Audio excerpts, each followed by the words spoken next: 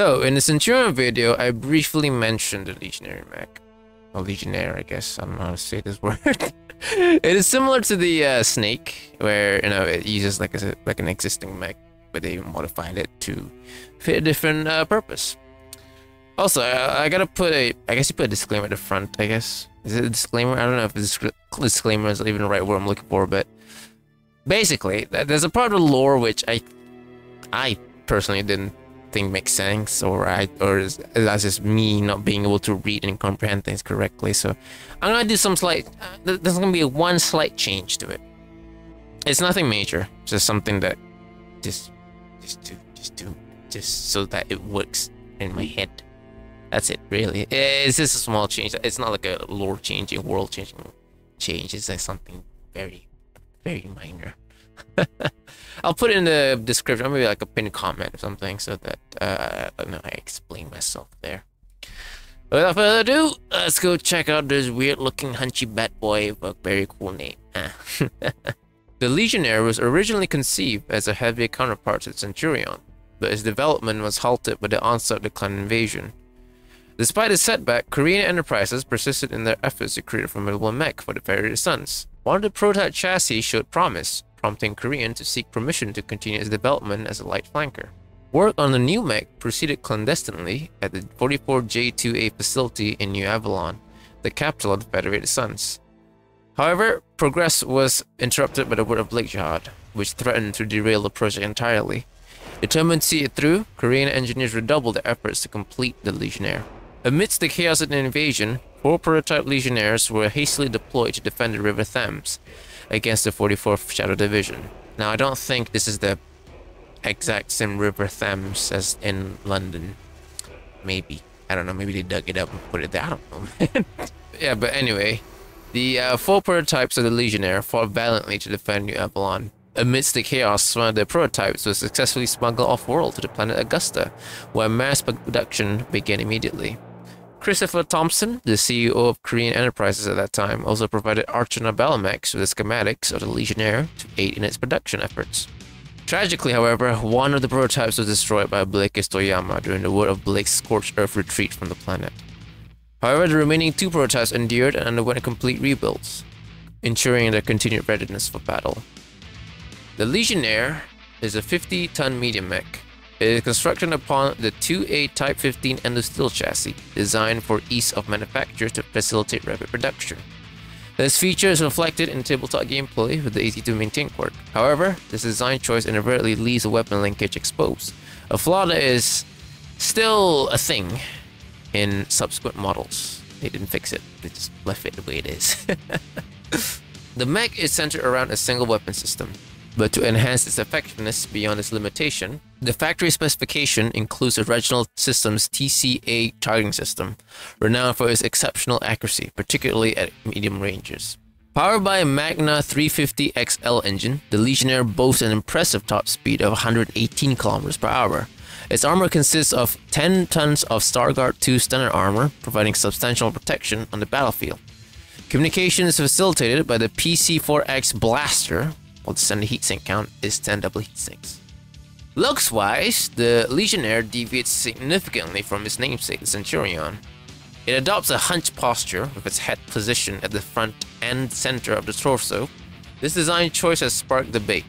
While some argue that placing the pilot in the most heavily armored section of the mech enhances survivability, others express concern about the lack of ejection mechanism and the proximity to 3 tons of ammunition.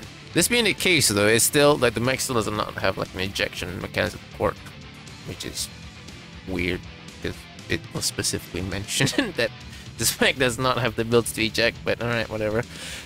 In terms of gameplay though, like the cockpit is still located in the head section of the like the damage model. On most of them.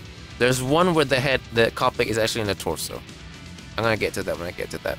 So let's move on to the variants of this very weird looking thing. But it's charming, actually. I kind of like it.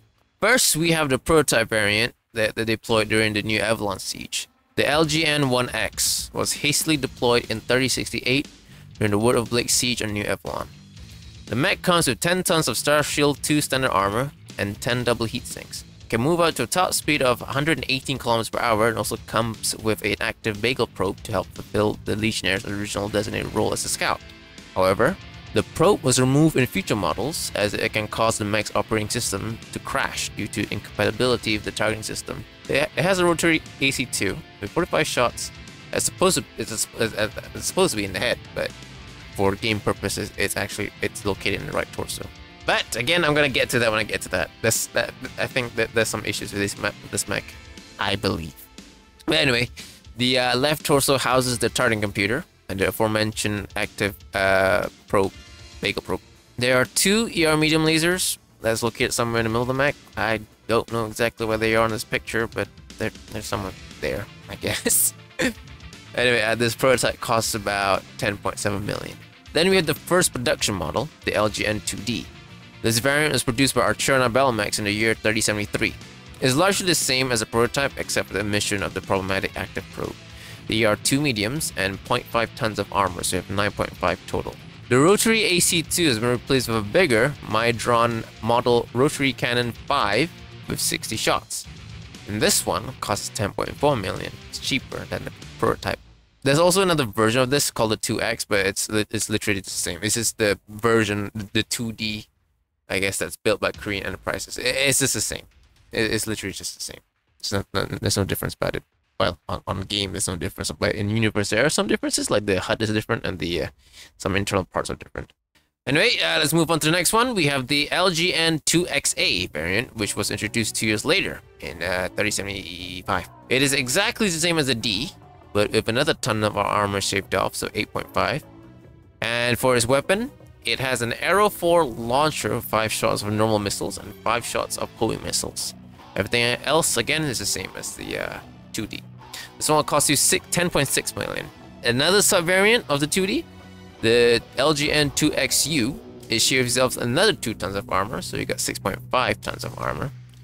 But the armor is ferrofiber, so it's, I mean, it's still, it's still weaker, I guess, but it's, it, it's, it's less, but it's not as weak, I suppose. but anyway, they, they did this to make way for an Ultra AC uh, 10, 20 shots. This one will cost you 10.5 million.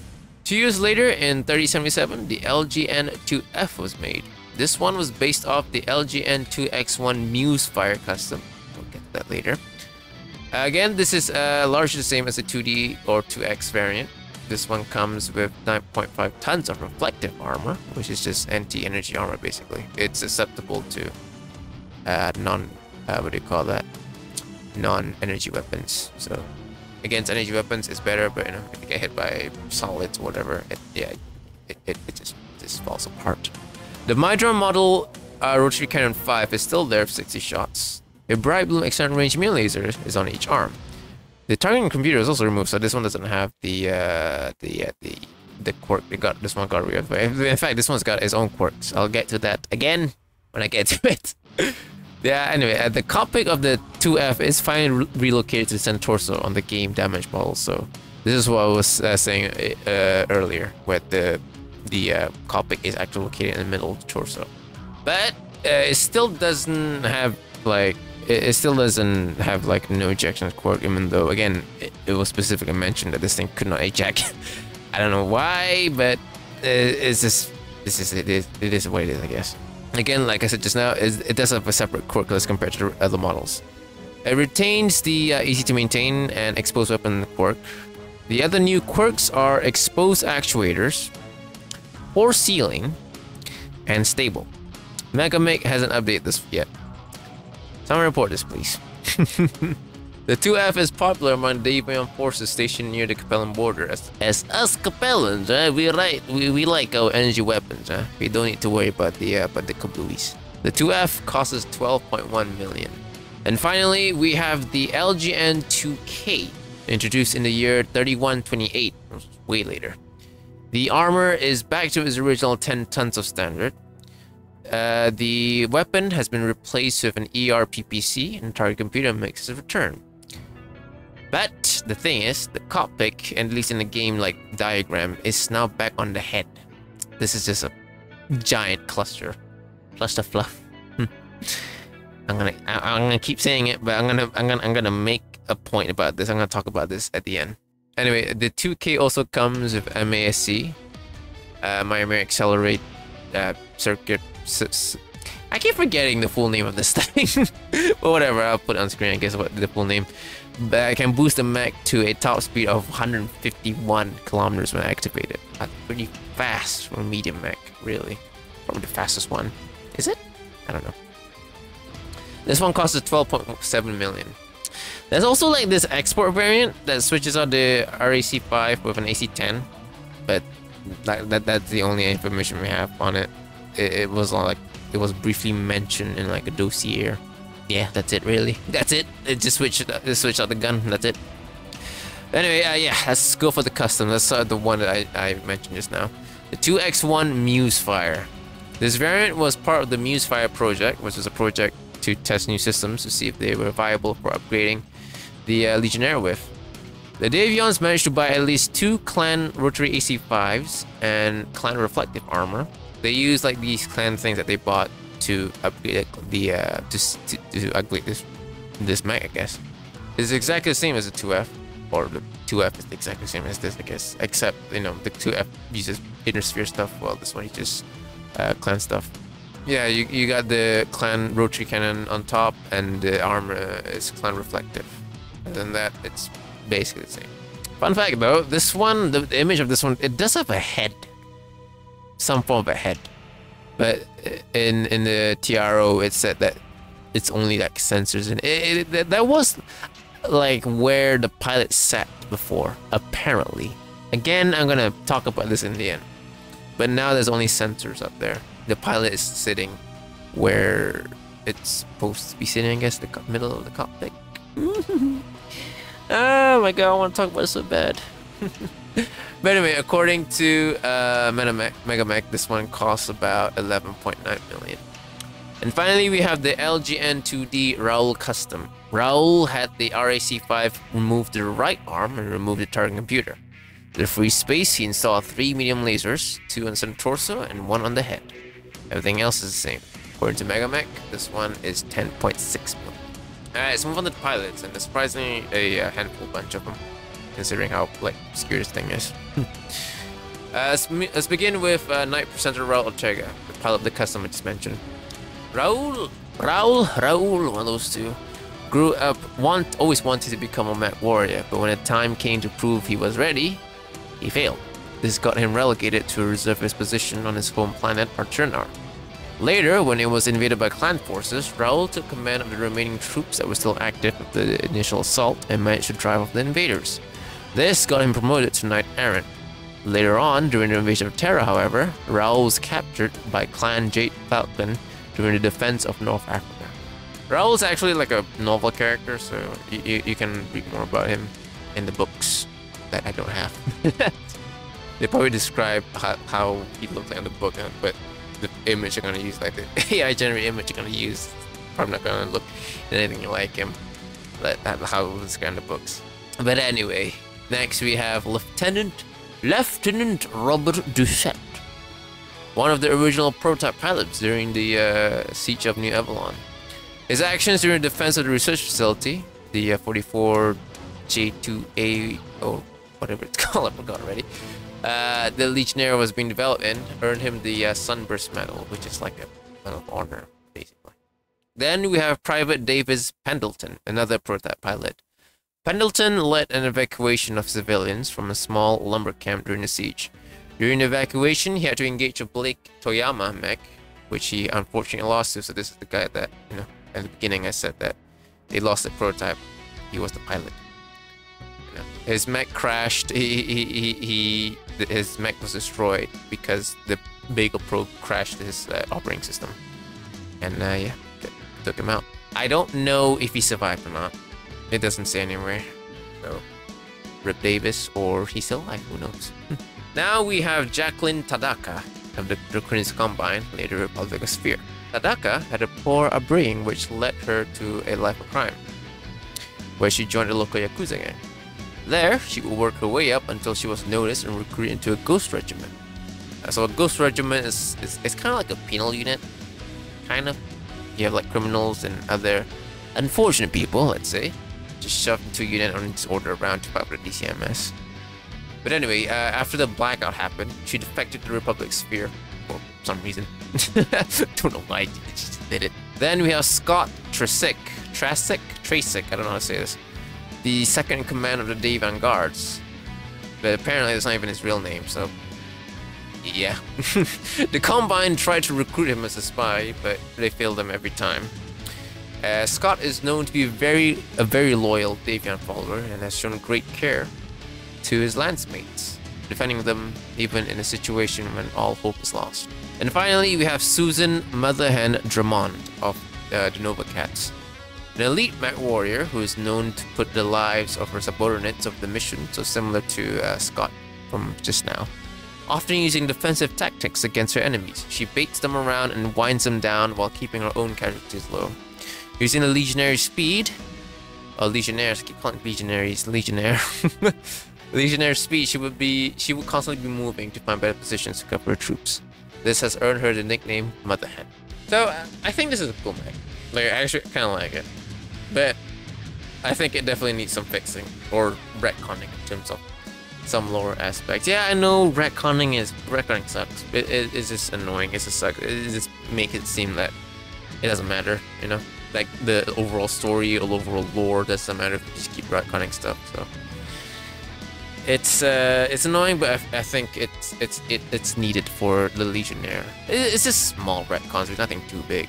Especially like its image depiction and like compared to how it's described. In the images, you, you, you can clearly see it's hunched. Like you know the copy's in the middle and there's a gun on top of it. But if you in the diagrams, the uh, you know, the damage model, like the head is located on the top and the gun is looking right towards torso. So there's some like problems there. I think the Musefire look is supposed to be like the definite look, the definitive look. How it's supposed to look like, how like the prototype, the 2X, uh, is supposed to look like. Because that one does have a head. So, yeah, I think there needs to be some kind of image retconning here to give us like definite look which one is it? Is it this one? Is it this one? I think this one is definitely 2f because the 2f has hunched. But the two uh, the, the prototype and the 2x and the other one the 2a's the, the other two x's and the, the, the latest one that that that i think there needs to be some retconning to like uh what do you call that? Fix them i guess to make sure we have a definite uh version of them definitive version of it, I guess. Also, yeah, they also need to put the no ejections like uh, quirk on the 2F as well, since again that was specifically mentioned in the TRO page that the 2F cannot be ejected, but you know, it doesn't have any. It doesn't have that quirk. Also, I think th this thing needs to be renamed. Like, yeah, I think this is like an unpopular opinion or whatever, but I think it needs to be renamed.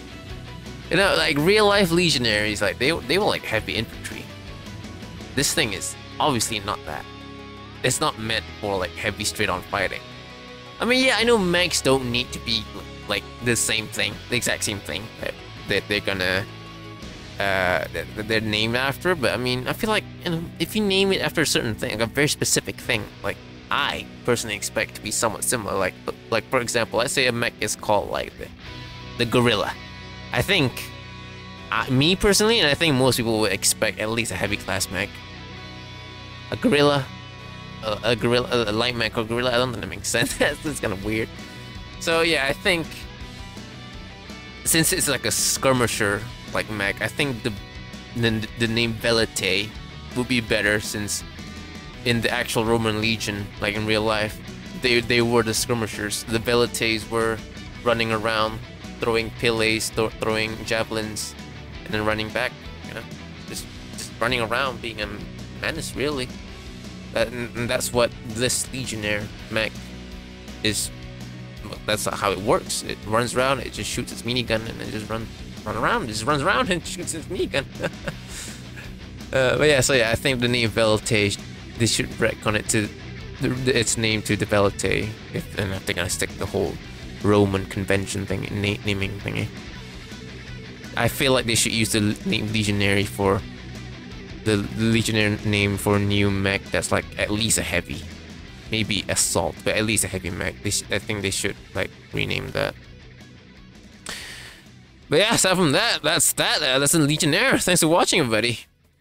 I don't think this is video is as short as I think it's gonna be. I thought this was gonna be a short one, but I think it's gonna be pretty long one. Not long, you know, just normal normal length video, I guess. But yeah, I got Twitch, you know, go and watch me, help me, support me there if you want to. you got Discord if you want to chat, uh, chat with me when I'm off, I guess, whatever. Next time, as as during a stream by Christopher, or Christian, sorry, forgot your name, will be everybody's favorite walking trash can.